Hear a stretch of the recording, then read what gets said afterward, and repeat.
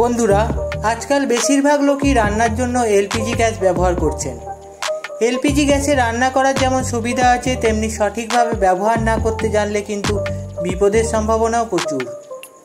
নমস্কার বন্ধুরা, ট্রাইব্লেন্ডের আরও একটি এপিসোডে আপনাদের সকলকে স্বাগত জানাই। আজকের এই ভিডিওতে আমরা তুলে ধরব এলপিজি গ্যাস নিয়ে কিছু গুরুত্বপূর্ণ তথ্য, যা আপনাদের সকলের জানা প্রয়োজন। আজকের দিনে অসাধু ব্যবসায়ীদের দ্বারা চুরির পরিমাণ কিন্তু প্রচুর বেড়ে গেছে। খাদ্যদ্রব্য হোক কিংবা এলপিজি গ্যাস, কোনো কিছুই বাদ নেই এই তালিকা থেকে। আজকের ভিডিওটা যেহেতু এলপিজি গ্যাস নিয়ে, সেহেতু এলপিজি গ্যাসের চুরি আমরা কি করে ধরবো সেটাই বলব আজকের এই ভিডিওতে। আমরা যদি একটু সচেতন হই, তাহলে খুব সহজেই এলপিজি গ্যাসের চুরি আমরা ধরতে পারব।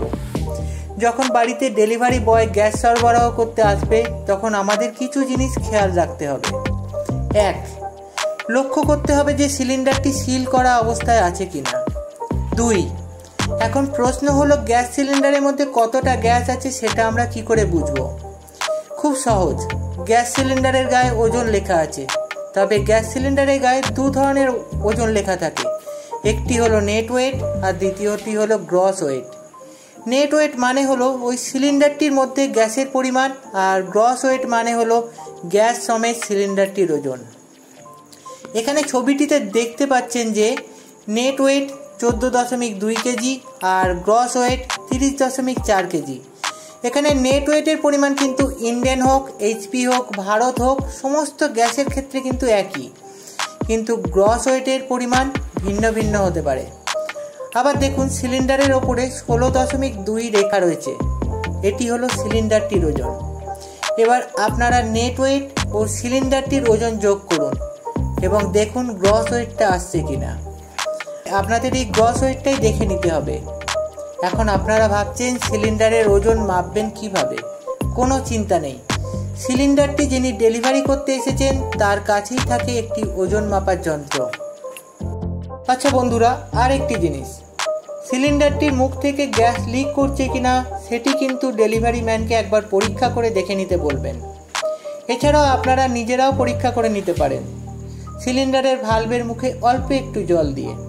যদি জলে বুদবুদ কাটে, তাহলে বুঝবেন সিলিন্ডারের ভালভটি থেকে গ্যাস লিক করছে। আর বন্ধুরা, আরেকটি ব্যাপার। গ্যাস নেওয়ার সময় অতি অবশ্যই এক্সপায়ারি ডেট চেক করে নেবেন। এখন আপনাদের মনে হয়তো প্রশ্ন জাগ যে সিলিন্ডারে কোথায় এক্সপায়ারি ডেট লেখা থাকে। বন্ধুরা, এই যে ছবিটা আপনারা দেখতে পাচ্ছেন, এই ছবিটিতে লেখা রয়েছে বি টোয়েন্টি থ্রি এখানে বি বোঝাচ্ছে মাসকে এবং তেইশ যেটি লেখা রয়েছে সেটি হলো বছর। সাধারণত গ্যাস সিলিন্ডারের ক্ষেত্রে এভাবে এক্সপায়ারি ডেট লেখা থাকে। এখানে যেমন বি লেখা রয়েছে, তেমনি এ সি ডি লেখা থাকতে পারে। এ মানে হলো বছরের প্রথম তিনটি মাস। বি মানে হলো চতুর্থ, পঞ্চম ও ষষ্ঠ মাস। সি মানে হলো সপ্তম, অষ্টম ও নবম মাস। সেই রকমই ডি হলো দশম, একাদশ ও দ্বাদশ মাস। তার মানে এই সিলিন্ডারটির ক্ষেত্রে এক্সপায়ারি ডেট দু হাজার তেইশের এপ্রিল থেকে জুনের মধ্যে। আর এই এক্সপায়ারি ডেটের পর কিন্তু ওই গ্যাস সিলিন্ডারটি ব্যবহার করা একদমই উচিত না। বন্ধুরা আজ এই পর্যন্তই। আমাদের আজকের এই ভিডিওটা আপনাদের কেমন লাগল কমেন্ট করে জানাতে কিন্তু ভুলবেন না। ভালো লাগলে একটা লাইক দিয়ে শেয়ার করুন বন্ধুদের সাথে। বন্ধুরা, আজ আসি। আবার দেখা হবে পরের ভিডিওতে।